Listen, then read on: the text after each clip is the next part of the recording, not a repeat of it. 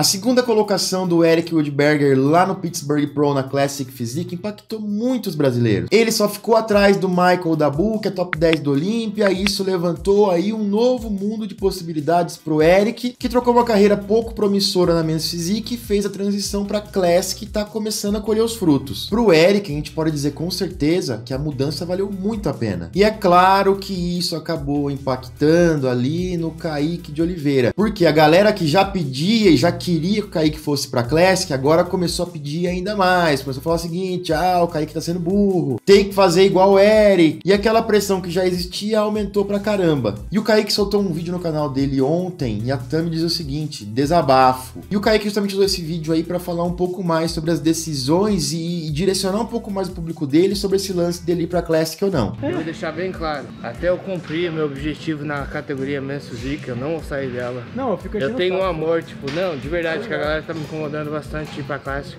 Vamos torcer pros clássicos que nós já temos. Uhum.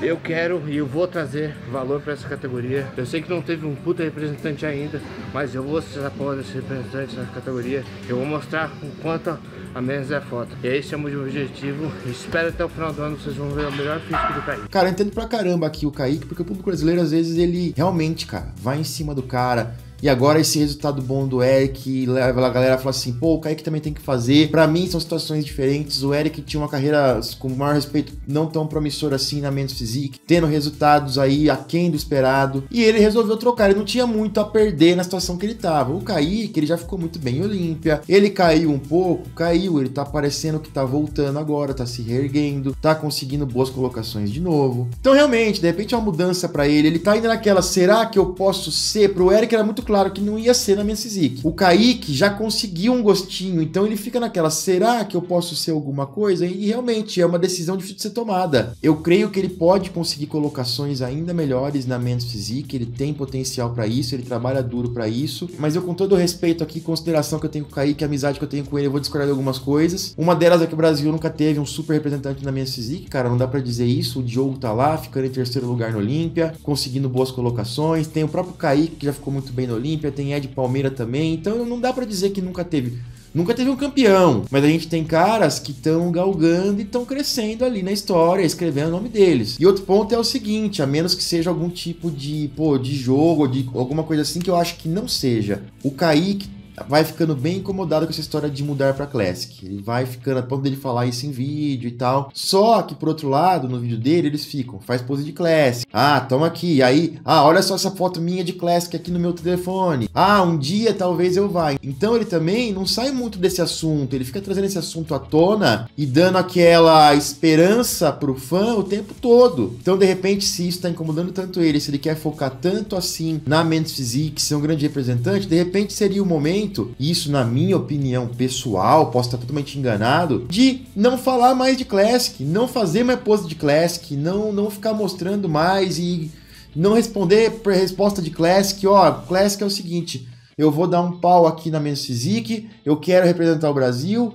não cumpri o papel aqui ainda, enquanto isso não falo de Classic, acabou. Porque, cara, enquanto ele ficar nessa, olha minha pose de Classic, olha minha foto de Classic, olha isso, a galera vai continuar enchendo o saco.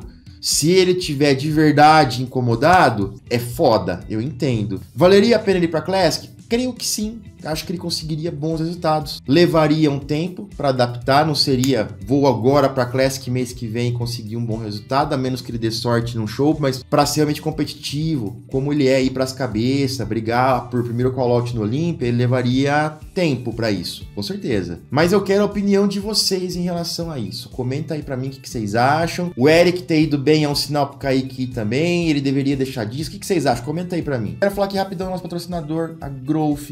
80% whey protein, whey protein concentrado, pacote de 1 kg, 24 gramas de proteína por dose, 5.4 gramas de BCAA, melhor custo-benefício do mercado, sem falar que o sabor é uma delícia. Os meus preferidos são cookies and cream e o chocolate com amendoim. Cara, compra chocolate com amendoim, só compra, depois você me fala. E também lembrando aí, temos creatina em estoque neste momento.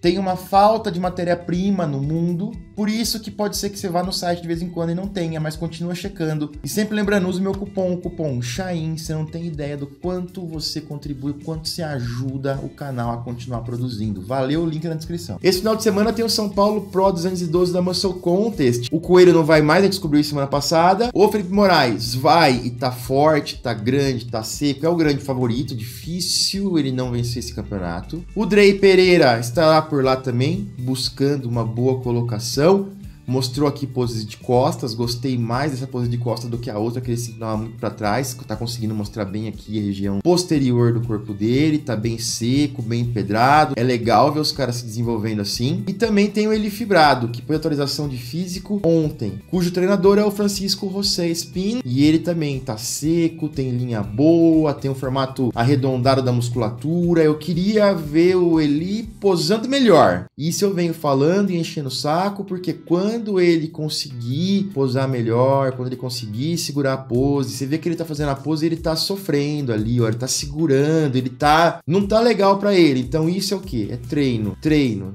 treino, treino, se sentir bem posando, fazer, repetir. E pode ser que isso às vezes demora um pouco mais para uma pessoa, menos para outra. Com o físico que ele tem, com o condicionamento que ele traz e qualidade pose acaba sendo um fator que ele tem que trabalhar para conseguir mostrar isso aí da melhor maneira possível. E por falar em mostrar, olha só aqui, o Ramon postou ontem essas fotos que já rodaram o mundo, ele e o Pacholoc aí, bonito o físico dele, né, cara? E nos perfis gringos que compartilharam, a galera gringa tava sem acreditar no tamanho do antigo braço do Ramon, né? Que é maior que praticamente o braço. Cara, é bizarro demais. E saiu aqui um vídeo ontem também do Ramon treinando peito com o Pacholoc no novo CT. A gente vê que é um galpão aí. Fizeram uma iluminação estilizada, porém a iluminação toda branca para fugir e a galera poder identificar paredes mais claras. Então a gente tem alguns CTs. Tem o A2, tem o Ironberg, que são ali parede mais escuro, uma iluminação meio avermelhada. O da Growth era 51 já tem ali é, muito azul. E aqui também eles fizeram uma identidade visual diferente pra galera bater o olho e já falar, pô, é o CT da Max, etc, etc. Eles não mostraram muita coisa do CT, porque segundo o Pacholoc tem coisas que não estão prontas ainda. O Ramon já tá evoluindo bastante aí as cargas, tá fazendo já supino inclinado com halteres de 50 quilos. O Pacho já tá sentindo essa firmeza nele. E sobre as máquinas, ele falou que faltam algumas máquinas da Hammer, que perna bem completo, costas também já tá ali com bastante maquinário, peito falta algumas coisas e que terão halteres aí até 100 quilos. O Pacho, inclusive, fala que vai ter algumas máquinas que o Balestrin viu lá no Quiet que eles vão trazer para cá também, máquinas diferentonas. E mais pro final do vídeo, o Ramon postou aí, fez algumas poses lá com uma luz já um pouco mais baixa, mais dramática ali. Eu achei legal, cara, com a luz desligada ali. Criou um bom tom, dá um bom destaque pro Ramon do fundo, ou do atleta que vai posar ali pro fundo.